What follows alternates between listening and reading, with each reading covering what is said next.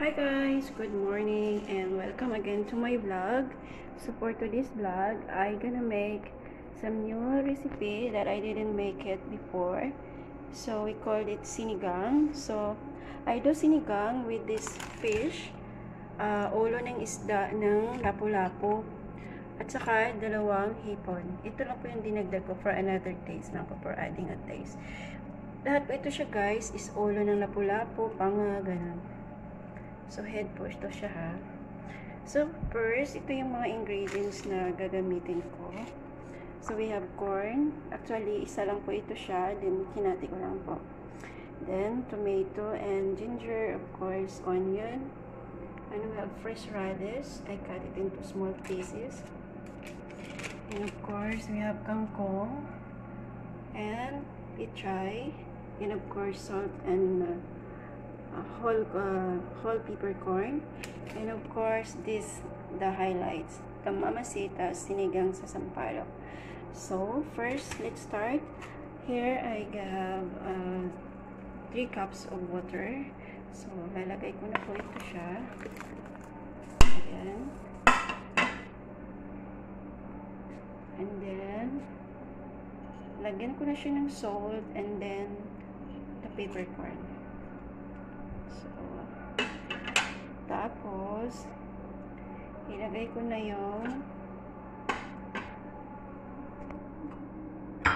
yung head ng isla o yung ulo ng lapu-lapo. Ito yung hinugasan ko ng maigi guys ha. Sobrang clean ito. Ayan. Ayan. And then, yung hipon. Dalawang hipon kasi dalawa lang po kami yung kasama ko.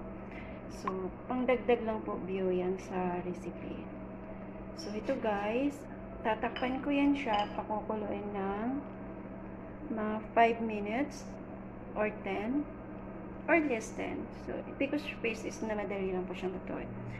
So, okay guys, takpan niya natin siya.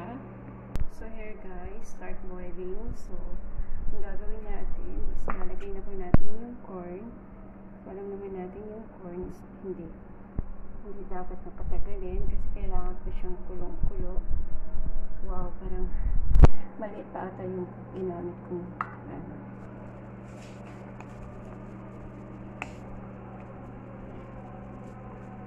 Tulakan natin siya para ano. Take guys ha, don't put a lot of salt konti lang, parang pins-pinsan. Yan. Kasi yung, ano, yung sinigang mix natin is kompleto na po yan. And then, i-add natin yung radish. Naamoy ko na guys yung sarap ng sinigang. Gulay pa lang yun siya guys ha. Ayan. Super kulong-kulo na siya. Ayan. alam nyo kasi maganda sa mga sinigang yung lagyan nyo ng fresh na tomato at saka gulay. So, yung mga greens na veggies katulad nito, ito is always in last. At saka yung mga red, green, green leaves, lagi yun siyang sa huli kasi ayaw kong ma-overcook. Kunting ano lang yun siya. Half cook lang yung greens, then enough na. So, ito siya guys. Parang hindi ko siya pwedeng takpan. Kasi kung takpan mo na siya na while nagbo-boil, so, magtagas po yung tubig. So, hayaan natin siyang ganun. Ayan siya.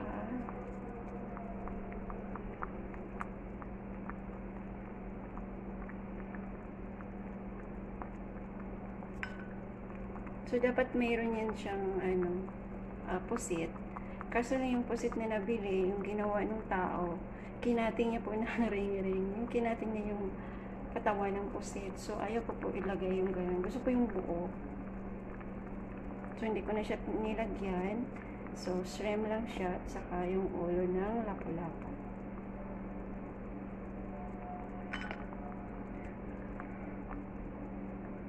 So, takpan natin siya ulit guys. Parang half or three part lang siyang takpan kasi para hindi pumana yung water. So, here guys. Now, I gonna add some half cookie sachet ng Mamacita sinigang sa sampalo. Ayan.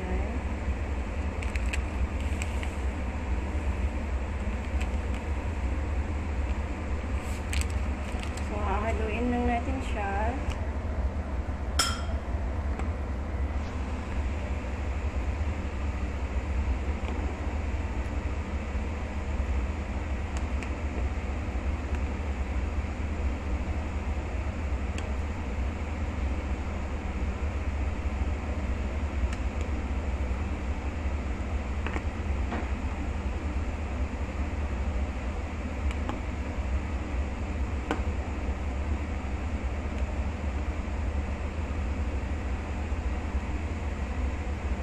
So, taste natin siya guys.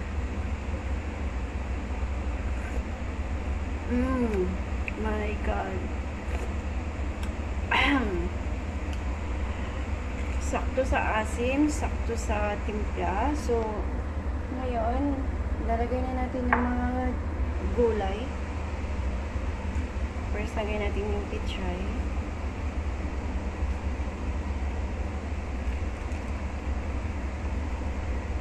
Up.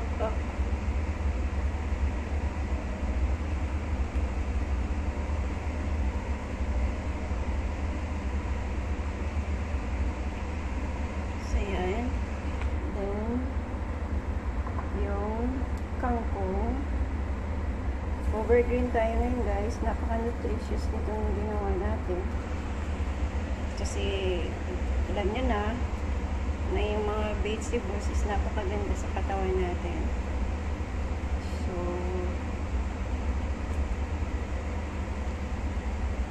ayan, alam nyo na guys na yung vitamina ng gulay ay napakamalaking tulong sa ating katawan. So, yun guys, nagdrama pa ako. But anyway, papakuluin na natin siya ng more than 2 minutes. Kunti lang or less. Gusto ko lang mag-change yung kulay ng green. Little bit. Half-cook lang siya kasi ayaw. Gusto ko yung kanya yung gulay yung crunchy siya. So, yan. Pakukuluin lang natin siya. And then, after na kumulo, tanggalin na natin siya sa apoy. Then, ready for serving. So, yan. Tikman pa ulit. Ang sarap talaga, guys. Mmm. Ang sarap ng asin.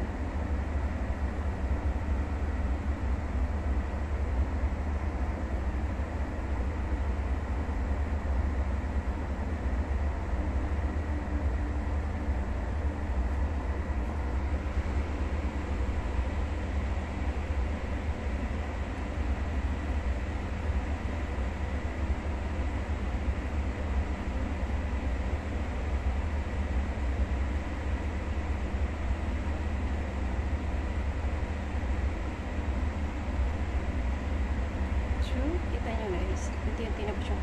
So, iwanan natin siya for a while. Then, balikan natin. Then, i-turn off na natin yung fire. So, ayan na guys. Luto na po yung ating sinigang sa ulo ng lapu-lapu. Ayan na po siya. So, lagay na natin siya sa, sa bowl, sa maliit. And ready for serving na siya. So, ayan na guys. Yung ating sinigang na ulo sa lapu-lapu. Ayan. Sobrang sarap guys. Nagugutom na ako lalo. So, ayan. So, thank you so much guys for watching. So, sa hindi pa po nakapag-subscribe sa akin, don't forget to like the video. And of course, subscribe and hit the bell so ma-notify po kayo for my next na recipe na gagawin ko sa lahat ng mga video na gagawin ko pa. So, thank you so much and happy weekend everyone. See you again next time. Bye-bye.